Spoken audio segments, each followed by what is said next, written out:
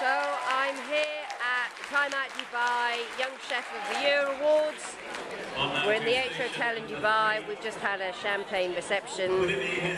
We're here with the girls from Time Out and Miele. Woo! Say hi, girls. Hi. I found my flip camera. Hello. Oh, is it? Yeah. I might not have my iPhone, but all is not lost. As of course with you throughout the evening. Ladies and gentlemen, please put your hands together So we're being, my table's being cooked for Miele table with Anoop Brahmpawar, sous chef from downtown Dubai. This is a competition. These are the finalists for the second year of the chef Time Out. de Tournon at the Young Chef of the Year Awards. Dubai. He is out of station number four this evening. Rashid. Tikania.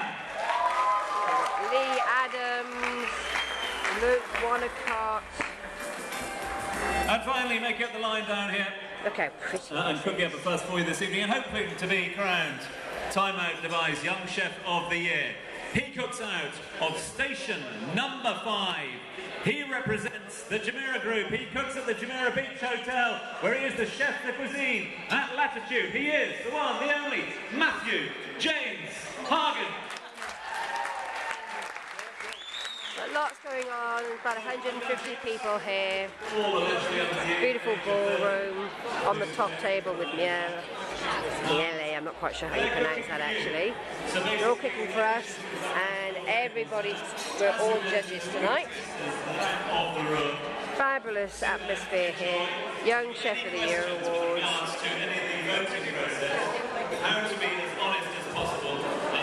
Interesting juxtaposition to the Moet 2004 launch that I attended in Epernay because these guys are feeding a lot more people and thank God I don't actually have to do any of the prep. It's one of the These are lovely. this event uh, one of the leading lights in promoting Cheers. culinary talent across the.